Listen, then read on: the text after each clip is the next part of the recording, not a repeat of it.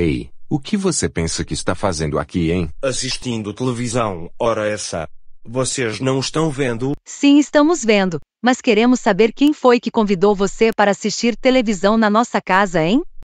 O poderoso troll não precisa ser convidado. Ele aparece quando ele tem vontade, especialmente nas casas de pessoas que têm televisão por assinatura. Ah, então está explicando o motivo da sua visita à nossa casa. Exatamente. Vocês acreditam que a vadia da Rosia não tem televisão por assinatura? Que mão de vaca. E o que nós temos com isso, hein? Pelo menos vocês têm e é isso que importa. Onde fica o canal sobre o poderoso troll? Não tem nenhum canal sobre esse poderoso troll. Acho que nem existe. Quem disse que não existe?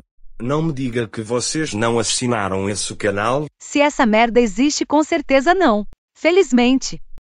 Eu exijo que vocês contratem esse canal imediatamente. É uma ordem, seus seres inferiores. Elaine. Eles têm televisão por assinatura e não assinam os melhores canais. Puta que pariu.